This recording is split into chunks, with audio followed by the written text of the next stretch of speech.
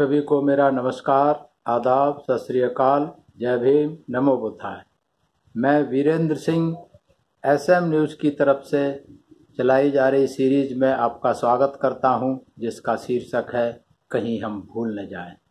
कहीं हम भूल न जाएँ उन महापुरुषों को, उन वीरों को, उन वीरांगनाओं को, जिन्होंने समाज की खातिर, मानवता की खातिर, देश की खातिर अपने आप को कुर्बान कर दिया आज इसी कड़ी में हम लेकर आए हैं एक ऐसी वीरांगना का इतिहास, जिसे दबा दिया गया, जिसे कोई नहीं जानता इतिहास में। ऐसी वीरांगना महावीरी देवी।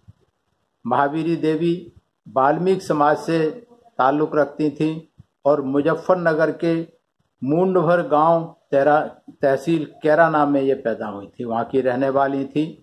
और इनके यहाँ जैसा सब जगह होता है वाल्मीकि समाज के लोग सफ़ाई का काम करते थे, पर इनके घर में इनके पिताजी जो सूप और कुछ जो दूसरे तरीके की चीज़ें बनाने का काम होता था। तो ये अनपढ़ थी, पढ़ी लिखी नहीं थी, क्योंकि पढ़ने लिखने का अधिकार ही नहीं था। पढ़ने लिखने का अधिकार नहीं था, लेकिन ये बहुत ही चतुर और चालाक और बुद्धिमान किस्म की महिला थी। तो इन्होंने सबसे पहले देश में, देश के इतिहास में पहली बार किसी वाल्मीकि महिला ने महिलाओं का एक संगठन बनाया और बच्चों का संगठन बनाया। महिलाओं और बच्चों का संगठन इसलिए बनाया, उन्होंने एक अभियान चलाया कि हमें गंदे काम नहीं करने चाहिए, हमें जो घृणित काम है, मेला उठाने का काम है, मेला ढोने का काम नहीं करना चाहिए। हमने बासी खाना, मांगा हुआ खाना नहीं खाना चाहिए। हमने पुराने कपड़े किसी और के उतरन नहीं पहनना चाहिए। और उस समय अठारह सौ सत्तावन में एक ये बहुत बड़ी बात थी कि इस तरीके की सोच रखना, इस तरीके का संगठन बनाना और इस तरीके से समाज में एक जागृति पैदा करना कि हमारा मान सम्मान पेशे से जुड़ा हुआ है, इसलिए हमें अच्छे काम करने चाहिए, मान सम्मान की ज़िंदगी जीनी चाहिए। ऐसा मूवमेंट महावीरी देवी वाल्मीकि ने चलाया। महावीरी देवी ने 22 महिलाओं का अपना एक संगठन बनाया और 22 महिलाओं का संगठन बहुत मजबूती के साथ इन्होंने अस्त्र शस्त्र चलाने सीखे और जब अंग्रेज़ों ने मुजफ्फरनगर पर आक्रमण किया, मुजफ्फरनगर को अपना मुजफ्फरनगर को अपने कब्जे में करने के लिए जब आक्रमण किया तो महावीरी भाई अपनी 22 महिलाओं के साथ, जत्ते के साथ, इनके हाथ के जो भी थे, बल्लम, लाठी, फरसा, जो भी हथियार इनके पास थे, उनसे लैस होकर के इन्होंने अंग्रेज़ी दस्ते का, अंग्रेज़ी सेना का मुकाबला किया और उनको मारा भारी तादाद में, जितने मार सकते थे। और अंत में लड़ते लड़ते 22 की 22 महिलाएँ शहीद हो गईं। तो ऐसी महिलाएँ, ये सब वाल्मीकि समाज की महिलाएँ थीं जो देश के लिए शहीद हुई। लेकिन देशवासी इनका नाम नहीं जानते, इनके बारे में नहीं जानते। अगर जानते होंगे तो थोड़ा बहुत उस एरिया के वाल्मीकि समाज के लोग जानते होंगे। कभी साल में एक आध बार याद कर लेते होंगे।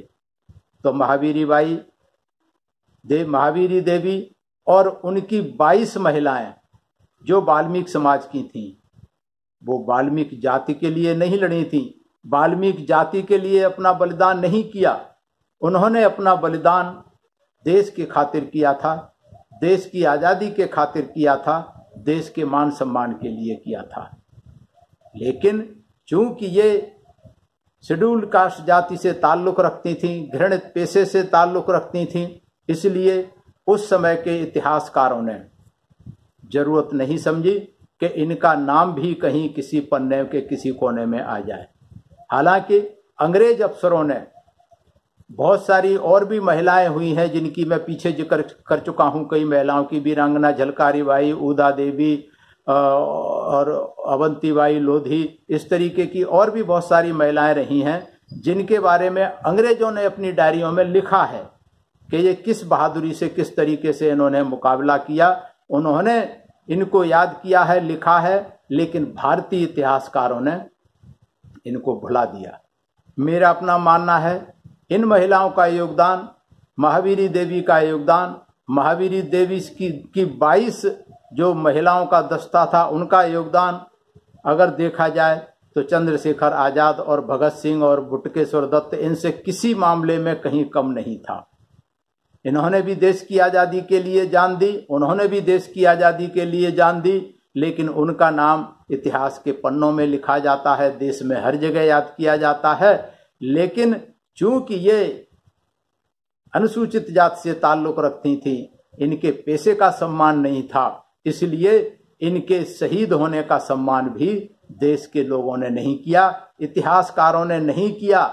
तो ये बड़ी विडंबना है हमारे देश के इतिहास लिखने वालों की, कि हर जगह जाति और धर्म इनके आड़े आ जाता है।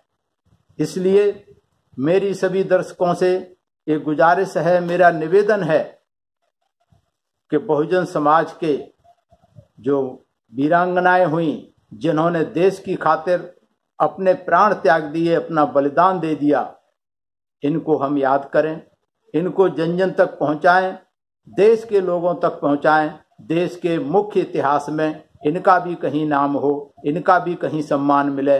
बेशक सौ साल के बाद मिले, बेशक इनको अभी नहीं पता, लेकिन इनको सम्मान मिलना चाहिए। जिन्होंने देश की खातिर अपनी जान दी, उनको हमें याद करना चाहिए। इसीलिए मैं महावीरी देवी और उनकी 22 की 22 महिलाओं को नमन करता हूँ, जिन्होंने देश की खातिर अपने आप को शहीद किया। देश की स्वतंत्रता संग्राम के लिए शहीद किया। मैं नमन करता हूँ इन सभी महिलाओं को और सभी दर्शकों से निवेदन करता हूँ कि इनके इतिहास को जन जन तक पहुंचाएँ। और मेरा निवेदन है, आप सभी लोग, अगर आपको ये सीरीज़ पसंद आ रही है, कहीं हम भूल न जाएँ तो आप इसको लाइक करें, सब्सक्राइब करें जन जन तक पहुंचाएँ। किसी दर्शक को अगर किसी इसी तरीके की किसी महिला या पुरुष की जानकारी है जो स्वतंत्रता संग्राम में शहीद हुए या समाज के लिए शहीद हुए, समाज के लिए अच्छा काम किया, अंधविश्वास कुरीतियाँ आडंबर मिटाने के लिए लड़ाई लड़ी, ऐसे किसी महापुरुष का आपके किसी भी एरिया में कोई अगर इतिहास है, उसको एस एम न्यूज़ तक पहुंचाएँ। एस एम न्यूज़ और हम कोशिश करेंगे कि उनके इतिहास को हम जन जन तक पहुँचाने का काम करें। मैं एस एम न्यूज़ का धन्यवाद करता हूँ। ये सीरीज़ चलाई और महावीरी बाई के लिए कुछ चार लाइनें जो वहाँ के लोग महावीरी बाई के सम्मान में गाते रहते हैं, वो मैं आपको सुनाना चाहूँगा।